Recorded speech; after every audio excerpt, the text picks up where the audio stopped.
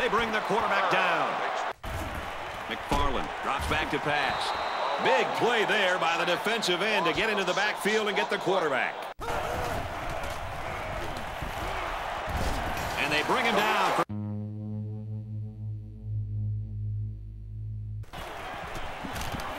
McFarland drops to throw. Got a man. Watch out here. Down the sideline. And he's finally knocked out of bounds at the three.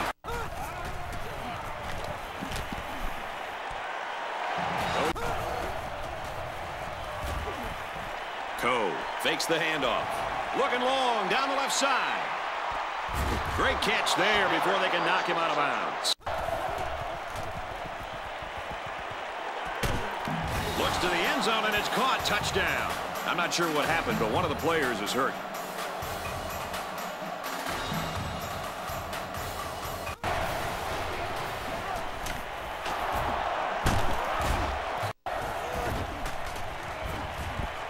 He's on the run. He's going to go for the home run. And it's intercepted by the senior cornerback. And he's taken down at the 33. That's just great defense all around right here. The corner plays a very disciplined zone and steps right in front of the throw. And let's give some credit to those big kids up front who are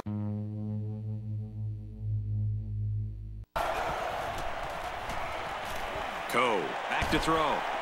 And they get the sack. Steps up in the pocket.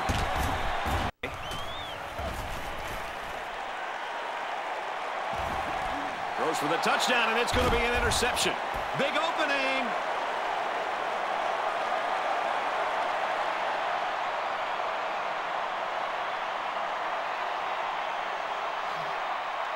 Touchdown. Big play.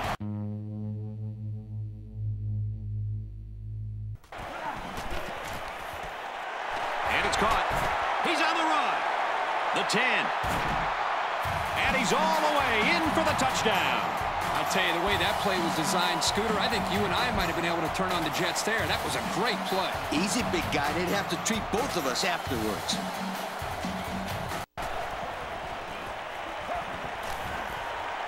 Gets it off as he's hit. Completes. And he's finally shoved out. Throws, and he's got a man. Touchdown. They got the touchdown they were looking for right there, but they still have some work. Looks to his receiver. First down. Inside the 30. And he's... Throws end zone knocked away. How about him getting in there to... Coe back to pass. And they got it. Coe steps back to pass. Coe has time. It's knocked away, incomplete.